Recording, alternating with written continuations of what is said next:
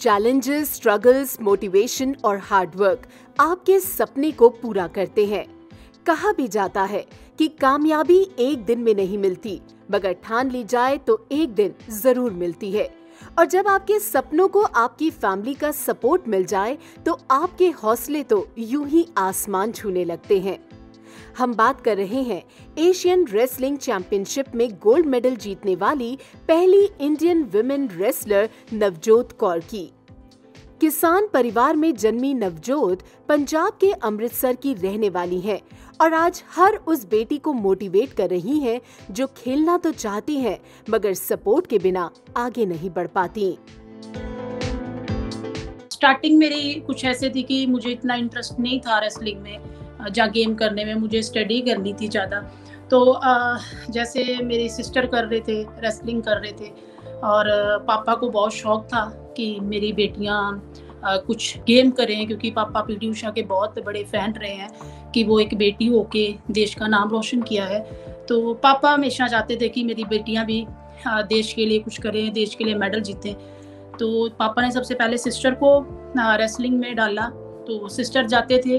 फिर धीरे धीरे जैसे मैं सेम स्कूल में स्टडी करने के लिए जाने लगी तो सिस्टर मुझे भी साथ लेके जाते थे। दीदी प्रैक्टिस कर रहे थे एक दिन तो उनके नी में इंजरी हुई।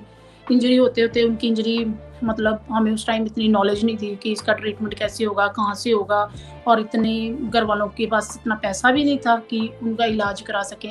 तो दीदी उसी इंजरी में प्रैक्टिस करते रहे करते रहे और फिर उनके नी में बहुत ज़्यादा प्रॉब्लम हो गई। डॉक्टर को दिखाया तो डॉक्टर बोला कि ये बहुत ज़्यादा प्रॉब्लम हो गई है तो इसमें बहुत टाइम लगेगा रिकवरी होने में और हो सकता है कि गेम भी ना कर पाओ फिर उसके बाद जैसे दीदी आ, बहुत डिस्टर्ब हुए इस बात से क्योंकि दीदी नेशनल लेवल तक खेले हैं जूनियर नेशनल में सिल्वर मेडल है इंटर यूनिवर्सिटी में भी उनके ब्राउन मेडल हैं।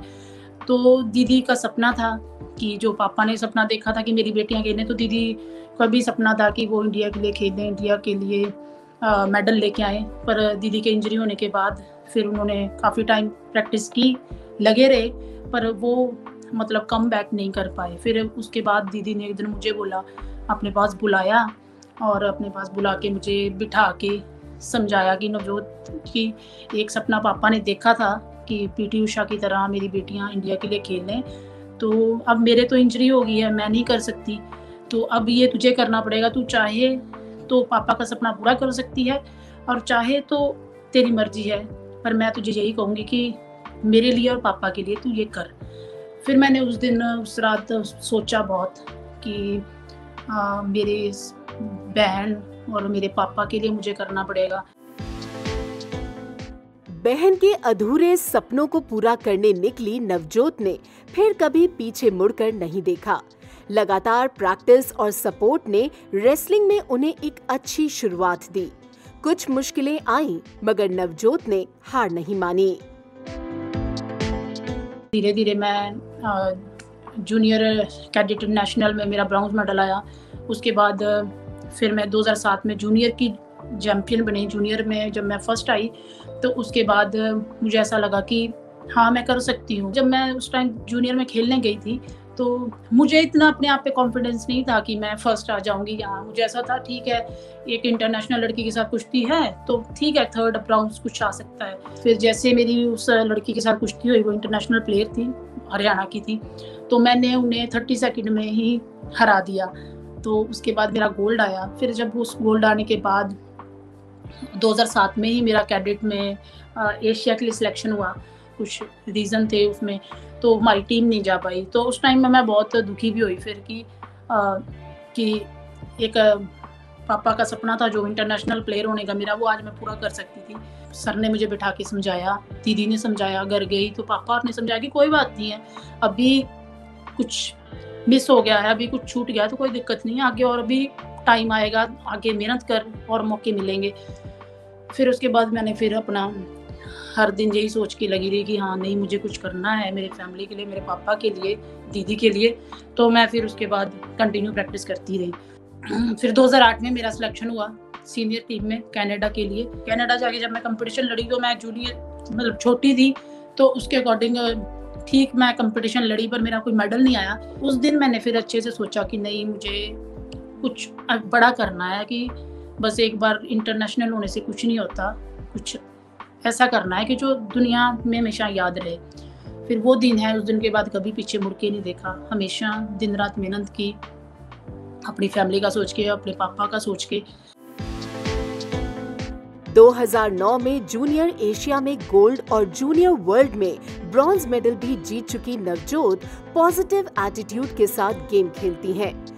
अपनी हर जीत को, अपनी फैमिली को डेडिकेट करने वाली नवजोत जब सीनियर एशिया में ब्रॉन्ज मेडल जीतकर देश लौटी तो उनके पिता की आँखें खुशी से नम थी, क्योंकि उनकी बेटी सपने पूरे कर रही थी।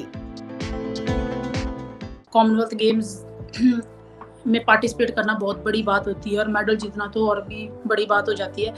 तो 2014 के कॉमनवेल्थ गेम्स की तैयारी में लग गए हम जुट गए। हमारा कैंप लगा रहता था पूरा साल। वहाँ प्रैक्टिस करते थे। हम सभी बच्चे मिल के करते थे।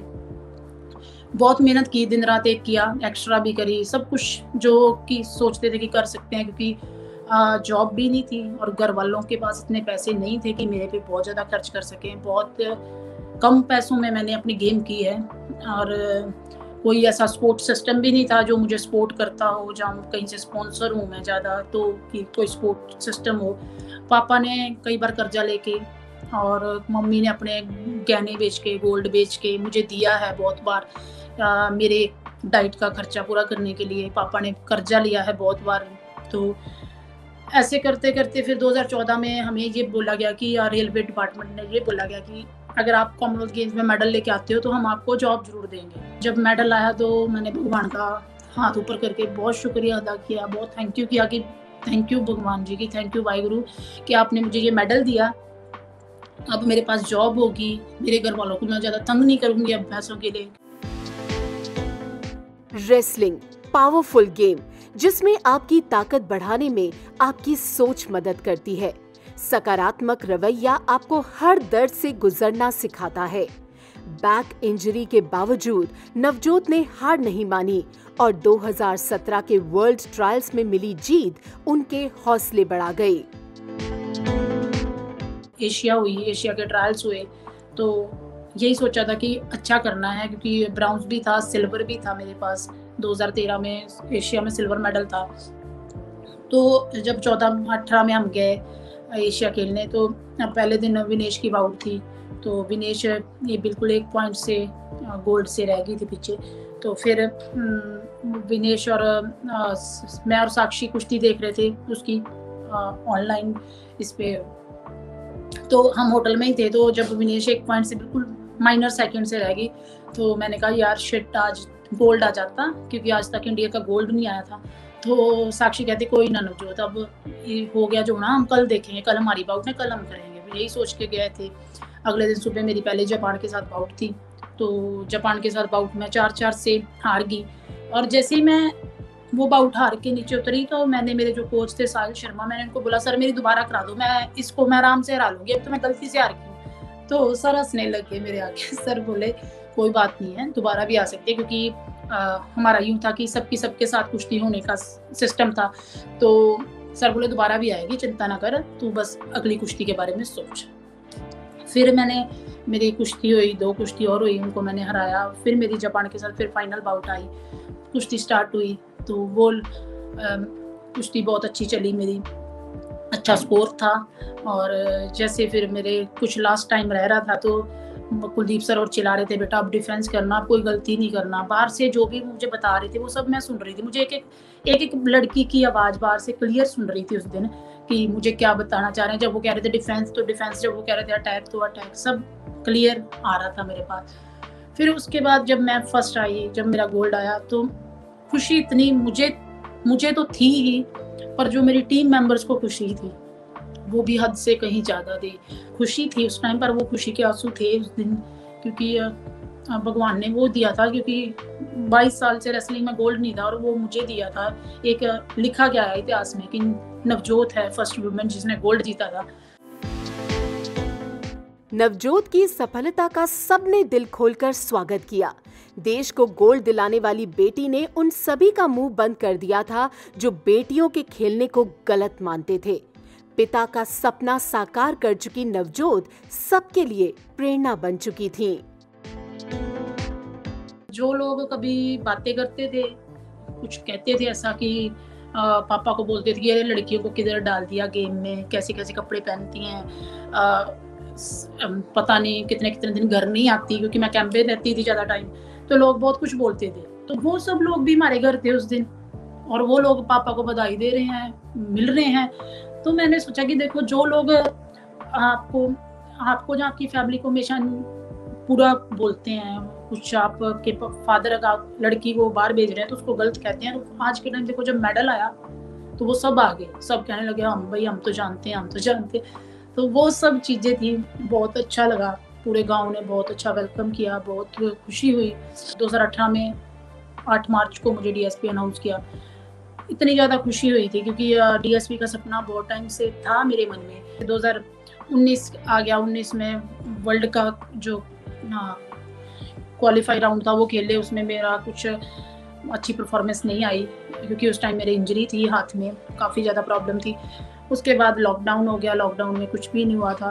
और लॉकडाउन में बहुत ज़्यादा प्रैक्टिस करी घर पे रह के, बहुत सारे जुगाड़ लगा के प्रैक्टिस करी, दिन रात एक किया। 2022 में कॉमनवेल्थ गेम्स हैं एशियन गेम्स हैं, उनकी तैयारी करूँगी, जल्दी से जल्दी अपनी बैक को ठीक करके तो जल्दी कम बैक करूँगी। नवजोत स्ट्रॉन्ग विल पार वाली रेसलर हैं। इतने स्ट्रगल्स के बाद भी उनकी सोच प्रोग्रेसिव है। इंजरीज भी उन्हें रोक नहीं सकी। कोशिश करते रहना और जीतना उनके जज्बे को दर्शाता है। आ, हमारे देश में जितना टैलेंट है मुझे नहीं लगता किसी और कंट्री में है। हमारे देश में बहुत ज़्यादा टैलेंट है। पर हमारे देश में ये कमी है कि जब हम ऊपर आते हैं जब मान लो हमने एक मुकाम हासिल कर लिया तब सब लोग सपोर्ट करते हैं तब हमें हर एक चीज़ की सपोर्ट मिलती है जैसे कि पैसे की प्रैक्टिस की अच्छे कोचेस की सब कुछ मिलता है। तो क्यों ना हम छोटे बच्चों को जो हमारे छोटे बच्चे हैं अभी जो गेम में इंटरेस्टेड हैं उनको शुरू से ही उनका साथ दिया जाए उनको उनकी फैमिली का बैकग्राउंड देख के उनकी हेल्प की जाए कि वो आगे बढ़े कि ओलंपिक तक मेडल लेके आए। क्योंकि आ, मेरे हिसाब से इंडिया से स्ट्रॉन्ग कोई कंट्री नहीं है क्योंकि इंडिया में एक, जो विल पावर होती है, वो गॉड की तरफ़ से ही मिलती है। पर बहुत से लोग मैंने ऐसे देखे हैं, जैसे मेरी जर्नी रही है कि मैं एक ऐसी फैमिली से हूँ, बहुत ज़्यादा अमीर फैमिली नहीं है, पाँच किले ज़मीन है। तो ऐसे बहुत से प्लेयर हैं, जो सिर्फ़ पैसों की कमी के कारण पीछे रह जाते हैं, क्योंकि उनके इंजरी हो जाती है तो उनके पास पैसा नहीं है ठीक होने का रिकवरी करने का। तो इस बात पे ज़रूर गौर करना चाहिए कि जैसे और कंट्रियों में होता है कि छोटे बच्चों को सपोर्ट की जाती है, उनकी एक लेवल बना दिए जाते हैं कि जिसका डिस्ट्रिक्ट में मेडल है, उसको ये इतना मिलेगा, जिसका स्टेट में है, उसको इतना मिलेगा, जिसका नेशनल में उसको इतना मिलेगा और इतनी उसकी सपोर्ट की जाएगी। तो वो करनी बहुत ज़रूरी है कि ताकि हमारा देश ओलंपिक में ज़्यादा से ज़्यादा मेडल लेके आ सके।